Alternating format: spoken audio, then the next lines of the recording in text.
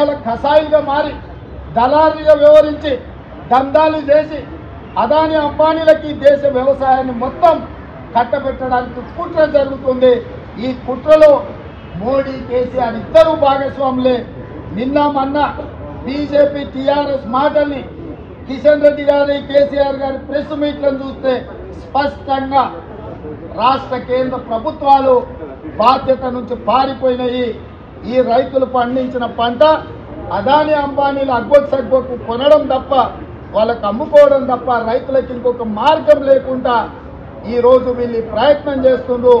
ఈ ప్రయత్నాన్ని కాంగ్రెస్ పార్టీ తీవ్రంగా ఖండిస్తుంది. భవిష్యత్తులో రైతుల పక్షాన దీర్ఘకాలిక పోరాట కార్యాచరణను కాంగ్రెస్ పార్టీ తీసుకుంటుంది. ఖచ్చితంగా రాష్ట్ర కేంద్ర ప్రభుత్వ రైతు వ్యతిరేక వ్యవసాయ విధానాల మీద కాంగ్రెస్ పార్టీ పోరాటం చేస్తుంది. దీర్ఘకాలికమైన పోరాటాల ద్వారా రైతుల యొక్క పంటకు కొనుగోలు చట్టబద్ధత కల్పించి రైతులను కాపాడుకునే బాధ్యత కాంగ్రెస్ పార్టీ తీసుకుంటుంది. ఈ ఏడు సంవత్సరాల టిఆర్ఎస్ బీజేపీ పాలనలో రైతుల నడ్డి విరిగిపోయింది. లక్షలాది మంది రైతులు చచ్చిపోయిండ్రు పార్లమెంట్లో ఇప్పటికైనా రైతుల చావులకు కారణమైన నరేంద్ర మోడీ గారు ఈ దేశ ప్రజలకు బేషరత్గా పార్లమెంటులో క్షమాపణ చెప్పాలి.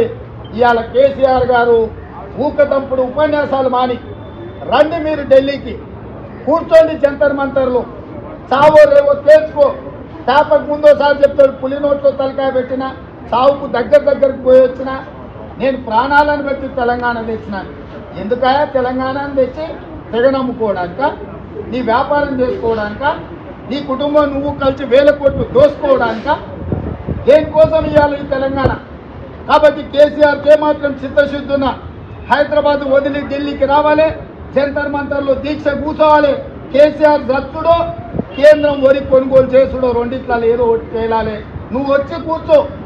నువ్వు చచ్చే వరకు కేంద్రం వరి కొనే వరకు మేము కాపలా ఉంటాం నీకు. నీదేదో ఒకటి తేలాలి. లేకపోతే ప్రజలు నిన్ను ఉరేసే రోజు వస్తుంది. వరి రైతులను మోసం చేసినందుకు తెలంగాణ సమాజం కేసీఆర్ను ఉరేసే రోజులు తొందరలోనే ఉన్నాయి. దానికి కాంగ్రెస్ పార్టీ నాయకత్వం వహిస్తుంది. మీరేమో బీజేపీ టీఆర్ఎస్ ఒకటని మీరు అంటున్నారు ఇంతవరకు ఒక ఎంపీ మాట్లాడుతున్న ఆయన ఏమంటారు? పన్నెండు మంది రాజ్యసభలో వాళ్ళ మీద సస్పెన్షన్ వేశారు. వాళ్ళకి సంబంధించి వాళ్ళు టీఆర్ఎస్ కాంగ్రెస్తో కలిసి వాళ్ళు పోయింది. వాళ్ళు వాళ్ళు ఒకటనే తేలింది. దీనికి రేవంత్ గారు సమాధానం చెప్పాలంటారు దానికి మీరేమంటారు? ఇప్పుడు కాంగ్రెస్ పార్టీ కేరళలో కమ్యూనిస్టులతో కొట్లాడుతుంది ఢిల్లీలో ఆమ్ ఆద్మీ పార్టీతో కొట్లాడుతుంది ఇతర రాష్ట్రాలలో రకరకాల రాజకీయ పార్టీలతోనే ఆయా ప్రాంతాలలో స్థానిక సమస్యల మీద రాష్ట్ర స్థాయిలో మా పోరాటం కొనసాగుతూనే ఉంది. పార్లమెంటులో కొన్ని అంశాల ప్రాతిపదికన చర్చలు జరిగినప్పుడు వస్తుంటారు పోతుంటారు. ఇలాంటి వచ్చిపోయే దారిన పోయే దానయ్యలకు కాంగ్రెస్ పార్టీకి ఎలాంటి సంబంధం లేదు.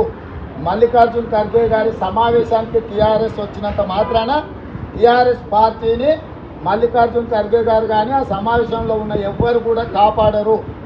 తెలంగాణ ప్రాంతంలో కాంగ్రెస్ పార్టీ స్పష్టంగా టీఆర్ఎస్తో పోరాటం చేస్తుంది.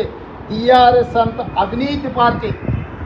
కేసీఆర్ లాంటి దుర్మార్గమైన నాయకుడితోని జట్టు కట్టే సమస్యనే లేదు.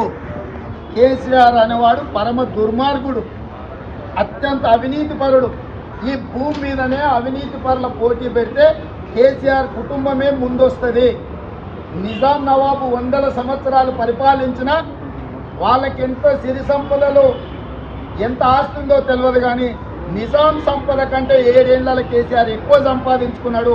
ఇవాళ నిజాం కంటే ఒకప్పుడు ప్రపంచంలోనే నిజాం శ్రీమంతుడు. నిజాం కంటే శ్రీమంతుడు ఎవడన్నా ఉన్నాడంటే కేసీఆర్ కుటుంబం.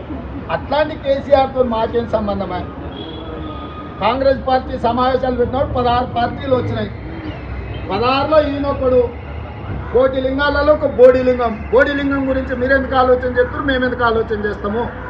కాబట్టి పార్లమెంటులో జరిగే చర్చలకు కానీ పార్లమెంటులో జరిగే సమావేశాలకు వాళ్ళు వచ్చినా రాకపోయినా తెలంగాణలో కాంగ్రెస్ పార్టీకి స్పష్టమైన వైఖరి ఉన్నది.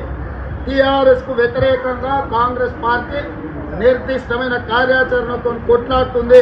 తెలంగాణ ప్రదేశ్ కాంగ్రెస్ పార్టీ అధ్యక్షుడిగా సుస్పష్టంగా మీకు తెలంగాణ సమాజానికి విజ్ఞప్తి చేస్తున్న కేసీఆర్ నీడ కూడా పడనీయం కాంగ్రెస్ పార్టీ మీద.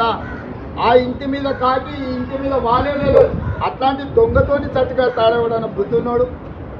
ఎవడన్నా సమాజంలో ఇంత గౌరవంగా బతికేటోడు కేసీఆర్ పక్కన నించుంటాడా? అట్లాంటి కేసీఆర్ తోని మాకేం సంబంధం? నిన్న మీ ఎంపీ స్టేట్మెంట్ ఇచ్చిండ్రు. కేసీఆర్ వచ్చి జంతర్ మంతర్ల ధర్నా చేస్తే సోనియా గాంధీని తీసుకొస్తామని. నేను కూడా అదే చెప్పిన.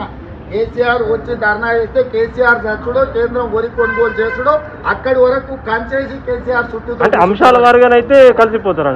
ఇప్పుడు ఒకవేళ వరి దానికోసం అయితే ఆయన చచ్చుడో వరి కొనుడో తేలాలంటున్నాం. మీరు అది అర్థం చేసుకుంటలేదు మీరు రైతులకు సంబంధించిన విషయంలో నిజంగానే కేసీఆర్ ప్రాణాలకు తెగించి కొట్లాడుతూ కదా ఢిల్లీ మీద యుద్ధం అంటుండు కదా. మోడీని ఈయన చూస్తే ఈయన చూస్తే మోడీ గజగజలాడుతుండ్రు మోడీకి లాగు తడుస్తుంది అంటుండు కదా. అదేదో వచ్చి చూపిత్రా అంటున్నాం. ఓ వీడియో వచ్చింది మీరు చూసిందో లేదో.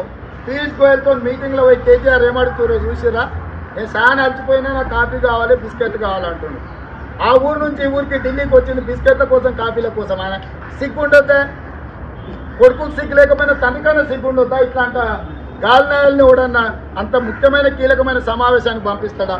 ఒకవేళ మీ దగ్గర వీడియో లేకపోతే నేను పంపిస్తా. పీయూష్ గోయల్తో కేసీఆర్ సమావేశంలో వరి కొనుగోలు గురించి తెలంగాణ చనిపోతున్న రైతుల గురించి మాట్లాడాలి నేను పొద్దున్నుంచి చాలా అలసిపోయినా నాకు టీ కాఫీ అని ఇప్పించు టిఫిన్లు పెట్టించు అని అడుగుతాడు. ఇంతకంటే సిగ్గు మాలిన దరిద్రమైన ఎవడన్నా భూమి మీద ఉంటాడా?